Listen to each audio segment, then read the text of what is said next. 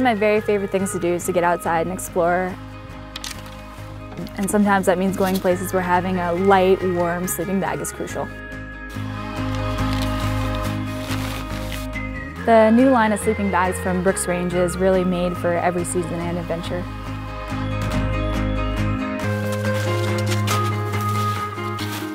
We tried them out over the weekend when temperatures dropped well below freezing and we were comfortable all night.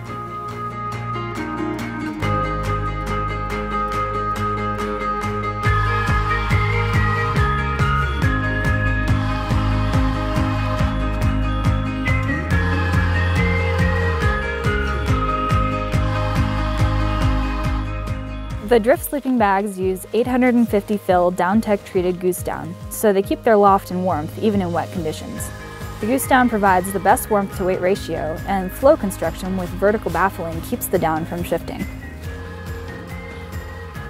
Every feature on these bags is designed to make them warmer without adding additional weight.